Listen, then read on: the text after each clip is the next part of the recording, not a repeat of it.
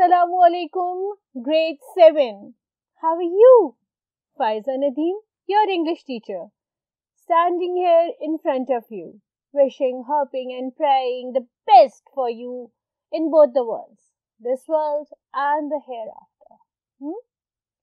So, what we are going to do today? We are going to do a poem. So, let's move on and start today's lecture without further ado.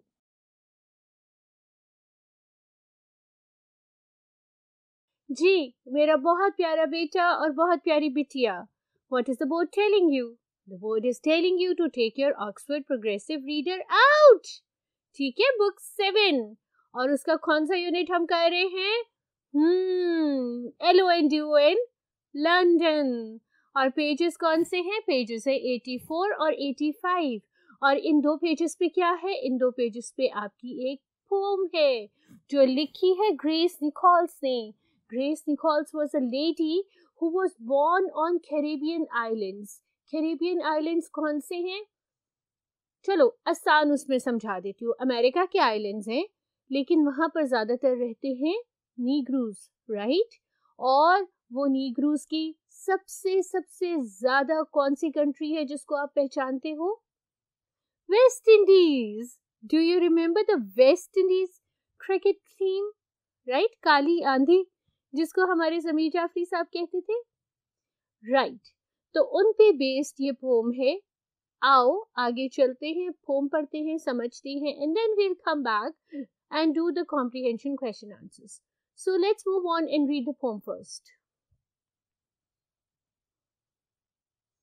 जी मेरा बेटा pome इधर छुपी हुई है। अभी निकल आएगी। कैसे? जब मैं पढ़ूँगी ऐसे right?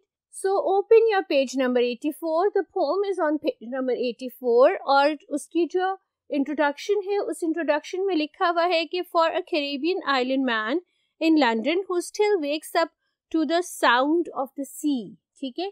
एक कैरेबियन आइलैंड्स का बंदा जो आके लंदन में रहने लग जाता है। Caribbean islands are you know what islands are ठीक है? Caribbean islands are small islands that compile to make up a country ठीक है? और वो आइलैंड्स छोटे छोटे छोटे छोटे समंदर के गिर्द हैं तो वो आप जहाँ भी हो जिधर भी हो आप समंदर के पास होते हैं।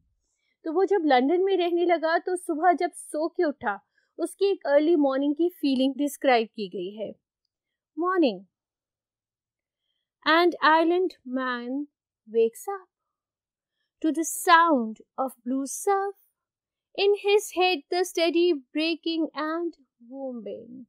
So the island man is waking up in the morning and in his head he can hear the sounds of the waves, right? What he used to hear when he was in his own country, in his own home. तो जो आवाजें वो समंदर की बचपन से सुनता आ रहा था वहां पे भी इस मॉर्निंग में भी उसने वही आवाजें अपने कानों में महसूस की wild seabirds, and fishermen pushing out to sea, the sun surfacing defiantly from the east of a small emerald island. He always comes back, groggily, groggily. Now, as he wakes up, ठीक है वो सोई जागी सी एक कैफियत में है और जब वो सोई जागी सी इस कैफियत में है तो उसको अपना आइलैंड, एमरल्ड ग्रीन आइलैंड, ठीक है, ब्लू सर्फ में टकराती हुई वेव्स, फिशरमैन और बर्ड्स की आवाज़, उसको वो सब नज़र आ रहा है, वो सब सुनाई दे रहा है। बट ग्रॉगिली का मतलब होता है जब आप को नींद में होते हो ना, ऐसे यूँ यूँ यूँ यूँ करके आँखें खोल रहे होते हो तो ऐसे वो आँखें खोल के अपनी ताज़ा अब की दुनिया में आता है, प्रेजेंट में। comes back to sands of grey metallic soar, to surge of wheels, to dull north circular roar. So he is living at the north circular road where he could hear the soaring of the engines of the grey metallic cars and he can hear the surge of the wheels ठीक है wheels की movement की आवाज muffling muffling his crumpled pillow waves. Island man heaves himself. Another London day. ठीक है, अब आपने ये चीज़ नोटिस करनी है कि इस फॉर्म में कोई पंक्चुएशन नहीं है लाइक इस फॉर्म को आप कंटिन्यूस राइटिंग की तरह भी पढ़ सकते हो राइट पंक्चुएशन क्यों नहीं है जब हम फर्दर रीडिंग फॉर अंडरस्टैंडिंग करेंगे तो हम इसको समझेंगे और हीविंग हिमसेल्फ का क्या मतलब है कि बड़ी मुश्किल से उसने अपने आप को उठाया और तैयार किया एक और लंदन का दिन, एक और ऐसा दिन जो उसने लंदन में गुजारना था। ठीक है? अब हम मूव बैक करते हैं क्वेश्चन एंड आंसर्स की तरफ़। ये पोम आपको डिस्क्राइब कर रही है एक ऐसे इंसान की कहानी जो कि कैरेबियन आइलैंड को बिलोंग करता था, लेकिन रोज़गार के लिए, किसी भी रीज़न के लिए वो लंदन में आके रहा और जब हर सुबह वो सो के उठा तो उसको इनिशियल साउंड्स जो थे इनिशियल आवाज़ें जो थी, वो अपनी आइलैंड से रिलेटेड अपने होम टाउन से रिलेटेड ही आती रही। लेकिन आहिस्ता आहिस्ता जब वो होश में आता गया, जब वो प्रेजेंट में कम्प्लीटली तौर पे मौजूद हो गया तो उसने रियलाइज़ किया कि he is no more in Caribbean island now he is living in London right तो let's move on to the question पहला क्वेश्चन आपका ये है रीडिंग फॉर अंडरस्टैंडिंग का what can island man hear as he wakes up ठीक है? आप उसको यूँ फ्रेज आउट करेंगे द आइलैंड मैन ठीक है?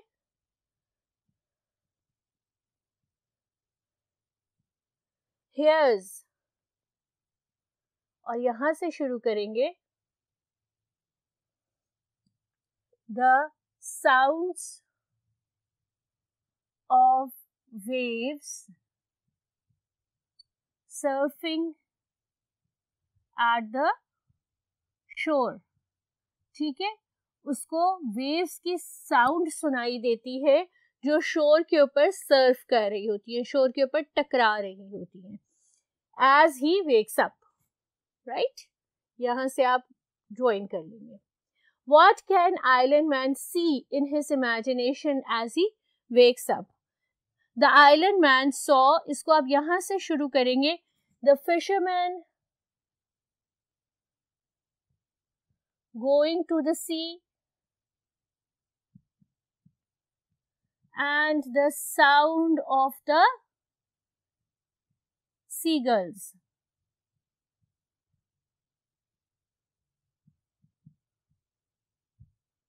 और इसको आप यहां से ज्वाइन कर देंगे in his imagination as he wakes up what in reality are the sounds of the sea in reality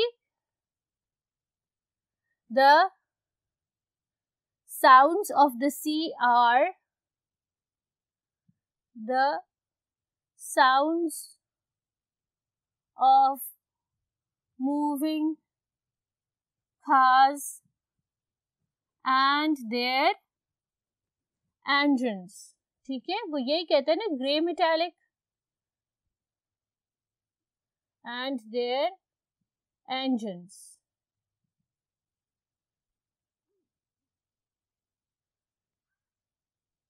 वो यही कहता है ना कि ग्रे मेटालिक सोर की आवाज़ से वो उठता है राइट तो this is the sound of the reality this is the sound of the present that he was hearing right let's move on to the next question और नेक्स्ट क्वेश्चन पे जब हम जाएँगे तो नेक्स्ट क्वेश्चन हमसे कहता है, what in reality are the waves? The waves in reality are the moving cars. ठीक है? घूमती हुई गाड़ियाँ। कैसे लिखोगे आप? Moving cars on the road कौन सा रोड था? नॉर्थ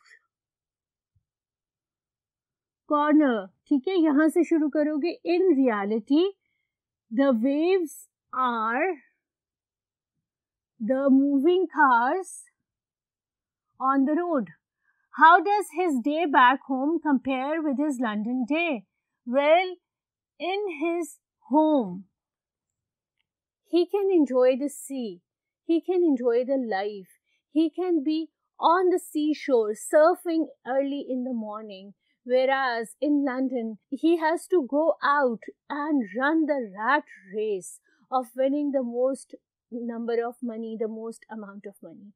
Phrase out आप कैसे करोगे Phrase out आप ऐसे करोगे his day back home can be compared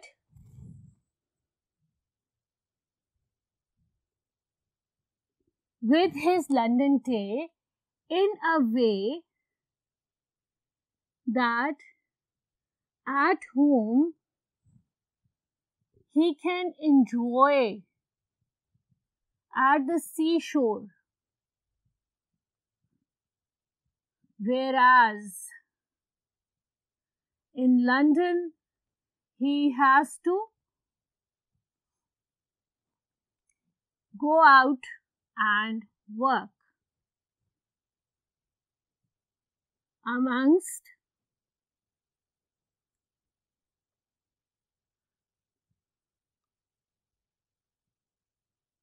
pollution.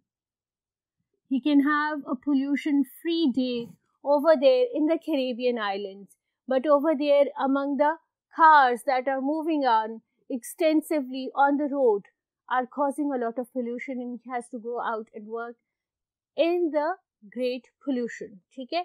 Now we move on to the next question reading for understanding. Reading for understanding का task one ये तीन सवाल थे और इन तीन सवालों का जो जवाब है वो हम इस तरह से लिखेंगे कि mention the colours mention and suggested in the poem तो कलर्स कौन से मेंशन हुए थे ब्लू सर्फ था वो क्या बता रहा था ब्लू सर्फ बता रहा था सी को, ठीक है? फिर आपका एमरल्ड आइलैंड था। वो उसका घर था कैरिबियन आइलैंड और उसके बाद था ग्रे मेटालिक और वो ग्रे मेटालिक बता रही थी cars colors associated with island man's home. the colors that were associated with island man's home were blue surf describing the clear blue sea ठीक है and emerald island describing the green beautiful home right the colors that are associated with the island man's home are the blue surf which describes the clear blue sea and the emerald island that describes the beautiful green island of Caribbean. The colors associated with London, and you have to describe the difference. So, the colors that are associated with London are grey, metallic,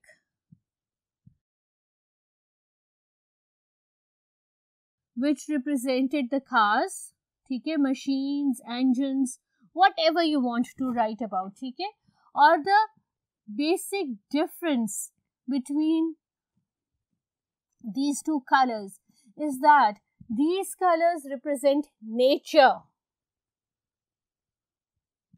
They represent nature. They represent the true self.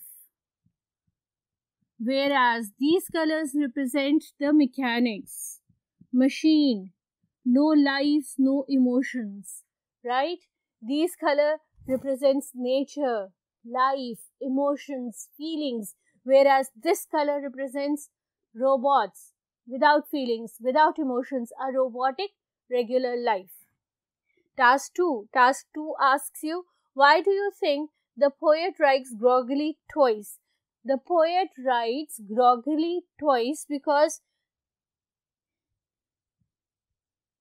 he takes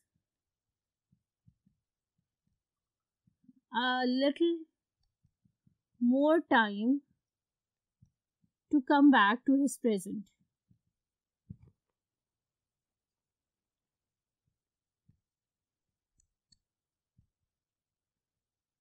Because he did not want to come back, no? Okay, he wanted to stay back at his home. He wanted to enjoy the sounds and the scenes that he had been enjoying since his childhood. So he reluctantly or hesitantly or repeatedly said groggily because he had to compel himself in order to come back to the present life. Right? Let's move on to the next question of task 2. How does the sound groggily help you to imagine the island man waking up? This sound of the word groggily helps us to imagine the island man waking up because it takes a little time for us to adjust to our new surroundings. Okay? So he was also taking a little time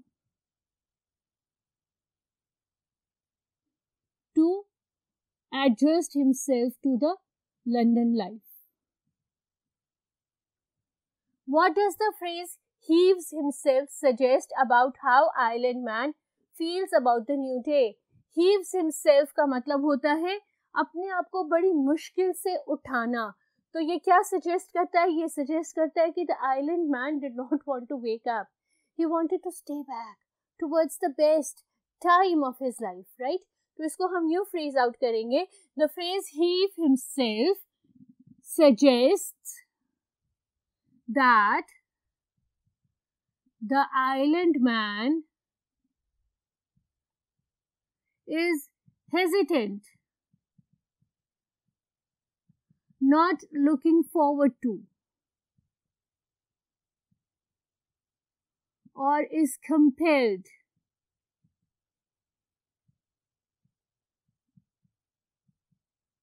to wake up and have another monotonous day, regular day. Okay? Another London day is appropriate finishing line. Do you think it is? And what sort of day lay ahead of Island Man? Another London day means another regular monotonous day. Monotonous का क्या मतलब होता है monotonous का मतलब होता है एक जैसा so आप ये कहोगे कि another regular day was another monotonous day in the life of the poet and he had a regular robotic emotion free day adventure less day in front of him.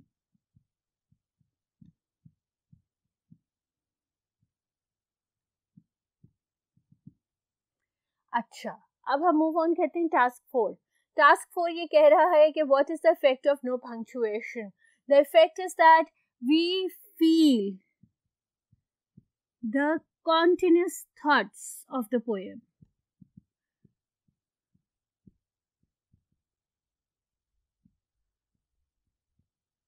We feel the continuous thoughts of the poet. Okay? The thoughts keep on coming to him. They are not stopping, they are not pausing, they keep on coming through and through and through. There is no pause, there is no stop, right? Because he has just woken up and he is not thinking on his own. All these things are coming to him automatically. That is why there is no punctuation. Why did the poet choose no punctuation? The poet chose no punctuation in order to express his feelings.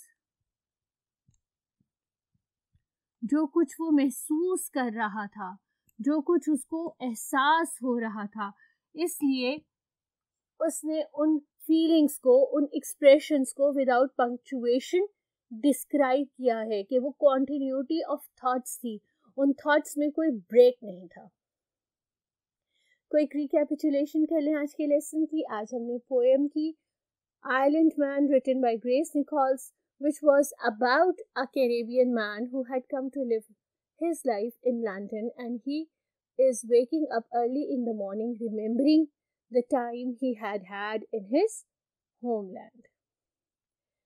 Poem सुनी आपने मेरे साथ समझी, हमने reading for understanding reading for detail की task किए। हँसते रहो, खेलते रहो, सब ज़रूर अटेम्प्ट करना, मुझे दुआ में याद रखना। Until we meet again Faiza Nadeem is saying अल्लाह हाफिज़